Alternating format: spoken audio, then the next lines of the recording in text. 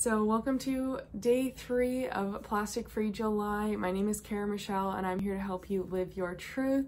And I want to share a really, really simple switch. This is something that we hear talked about on the media or in the plastic free movements very often uh, for a good reason. Now, every single thing I'm going to be sharing throughout the month is obviously an important switch when possible. And this is probably one of the easiest ones that you can do and take part in right away that's going to help so, so much. So let's dive in.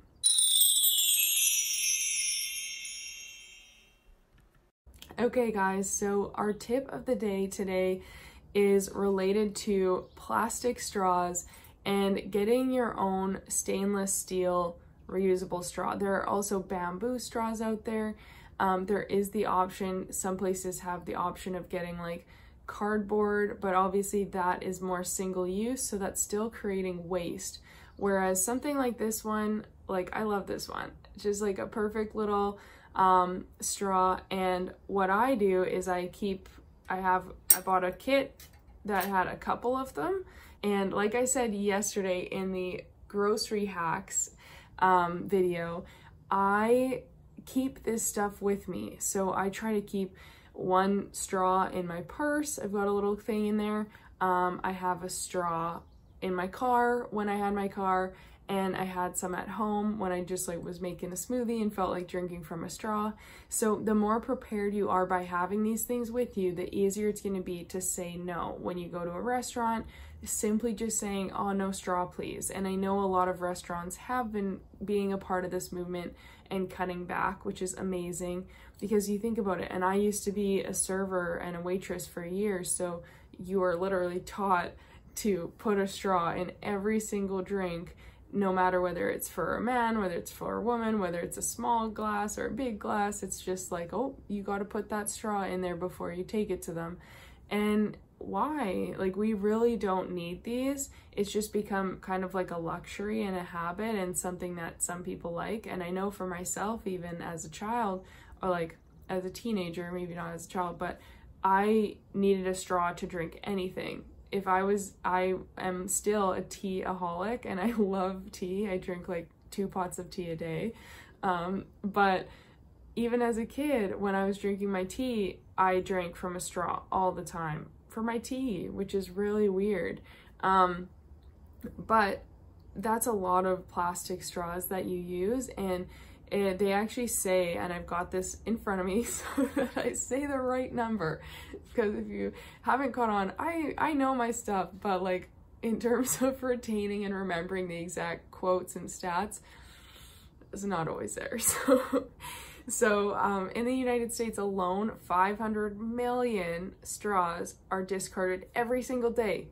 500 million every single day. And it makes sense because you think of like such a big population, um, a big country, every single restaurant. Obviously, that stuff would have died down with lockdown and COVID, but in general, when you think about that, 500 million straws every single day. And the problem with these, and we've seen this in some of these campaigns with the turtle that had the straw in his nose and just like heartbreaking. Um, we've seen it with other wildlife that have encountered straws or um, in the ocean. And the biggest, one of the biggest problems with that is actually um, half in the sun.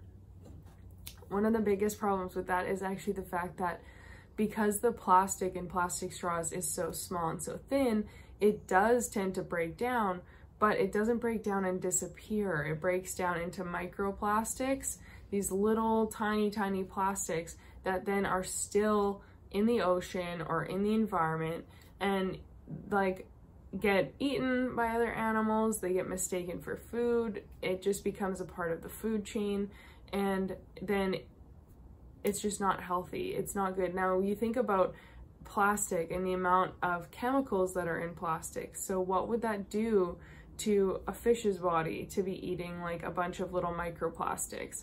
And then if you're eating fish, well, you could be eating a lot of microplastics.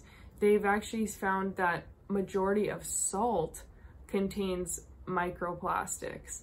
So it's everywhere because because the plastic is everywhere and because we haven't found a better way to um, clear it out. So it's just like, unless we stop this at the source, it will continue to do what it's doing, right? 500 million plastic straws a day in America alone. What about the rest of the world? Like, that's going to be billions of straws a day showing up in, in landfills or in the ocean. So, ideally, we wouldn't have straws at all. But if we do, what are your options? It's like having your own reusable one. There's also super cool um, uh, glass ones. People who make like handmade glass products can make really cute um, straws with that for you. Uh, and there's also just the option of simply saying no. Like I don't need a straw and going like, um, at a restaurant, no thank, no straw please. And instead of like us getting it with the straw, taking the straw and putting it on the table, well, it's still gonna go in the garbage now. So just, just remember to ask, no straw. And I don't think, um, I think at any kind of sh shop you go to, if you are bringing your own mug or your own cup and you've got your own straw, then you're good to go. And so, as I said at the beginning, this is really about planning ahead a lot of the times and just having your own little toolkit that allows you to be plastic free. And so with that said, make sure you comment down below, I'm creating a healthy planet and share this on Instagram, tag myself and tag Healthy Planet because we are giving away, at the end of the month, we're giving away two plastic free starter kits sharing some of these tools that I'm diving into over the month that are gonna help you create your own little plastic free bundle so that you are prepared and that you have this stuff to go to the stores and uh, avoid using a lot of these single-use plastics that are easily discarded, break down really easily, and are here on the planet and in the ocean forever. So make sure you do that. Please hit the thumbs up, please subscribe and turn on the notifications, and uh, I will see you on the next video for Plastic Free July tomorrow. And let's all do our part every single day. And that is part of the reason I've split this up into this kind of format because I've got a huge document breaking down the whole month. Now I could just go through and try to make all of that into one video and do it really quickly, but I wanted to break these down point by point and little switch by little switch so that you don't feel overwhelmed and maybe you're already doing some of these. So let me know in the comments below if you're already doing this with the bring your own straw. Um, if not, now you have a little tool that's super easy for you to use and switch out of. And like I said, the more prepared you are, the better. So if you can put these in your car, put them in your purse, have one at work, and just start saying no to plastic when it does show up, a lot of times we feel weird to say that. We're like, oh, I'm gonna stand out or I'm gonna be a problem. Well, the more you educate yourself on the amount of plastic that's being used, uh, there's too much sunlight coming in on half my face. The more you educate yourself on how much plastic's being used, the easier it's going to be for you to speak up and just say like, no, I don't want that straw or no. And you don't feel like a weirdo if you're with coworkers at lunch and they're all not asking it's an opportunity for you to gently educate them and say like, oh, did you know that 500 million straws are used a day in America alone?